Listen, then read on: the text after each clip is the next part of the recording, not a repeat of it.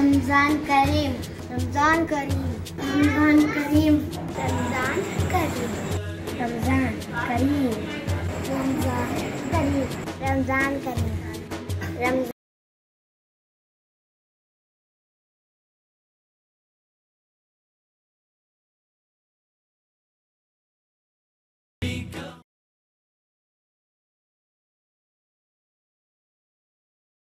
السلام علیکم ورحمۃ اللہ وبرکاتہ۔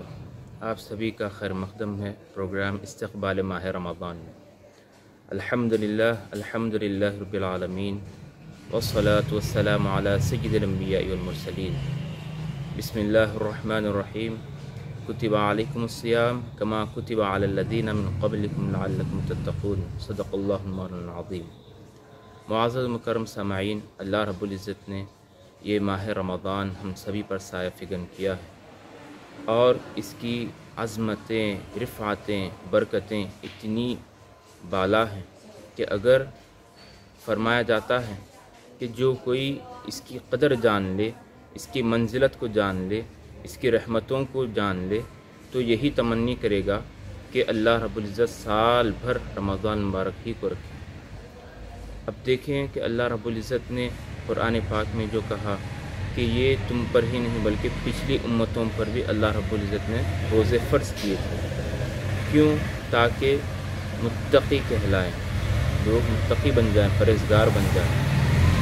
اب روزہ جو انسان رہتا ہے تو روزہ اس کو تقوی کی طرف لے آتا ہے پرہزگاری کی طرف لاتا ہے، انسانیت کی دعوت دیتا ہے، جو اس کو بھوک اور پیاس سے سامنا کرنا پڑتا ہے۔ اسے یہ احساس دلاتا ہے کہ دنیا حدیث شریفہ سے ثابت ہے کہ ابو حرار رضی اللہ تعالیٰ نے فرماتے ہیں، حضور پاک علیہ صلاۃ السلام نے ارشاد فرمایا کہ جب ماہ رمضان کی پہلی رات آتی ہے تو اللہ رب العزت سارے سرکش شیاطین و جنات کو قید کر دیتا ہے اور جہنم کے تمام تر دروازے بند کر دیتا ہے۔ پھر اس کا کوئی دروازہ نہیں کھولا جاتا اور جنت کے تمام تر دروازے کھول دی جاتی ہیں۔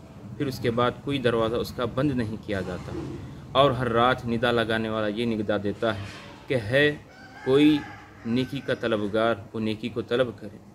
ہے کوئی گناہوں سے باز آنے والا، وہ گناہوں سے باز آ جائے۔ اور اللہ رب العزت کا یہ سلسلہ جاری رہتا ہے کہ ہر رات گناہ گاروں کو جہنم سے نجات دیتا ہے۔ اور یہ جو دنیا میں وبائی مرض پھیلا ہے، جس سے ساری دنیا کے لوگ پریشان ہیں۔ انسانیت ساری پریشان ہے۔ اس سے نجات کی اللہ رب العزت سے دعا مانگیں دعا گو ہو جائیں کہ اللہ رب العزت ایک کووڈ نائنٹین سے سبھی کو شفایاب فرما دے، سبھی کو محفوظ فرما دے۔ واخر دعوان الحمد للہ رب العالمین۔